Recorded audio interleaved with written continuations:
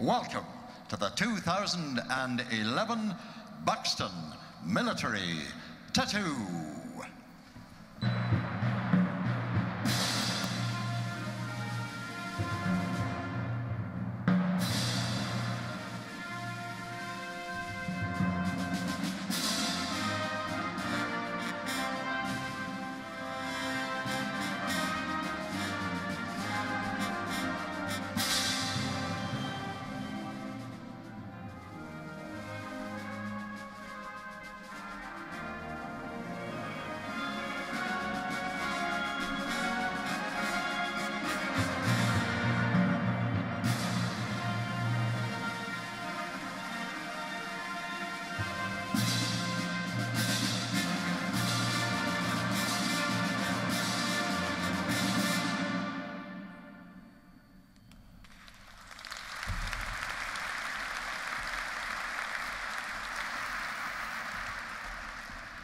And as Lance Corporal Darby departs, so too does the band, the Heavy Cavalry and Cambrai Band, uh, who played for us tonight, the fanfare for St. Cecilia.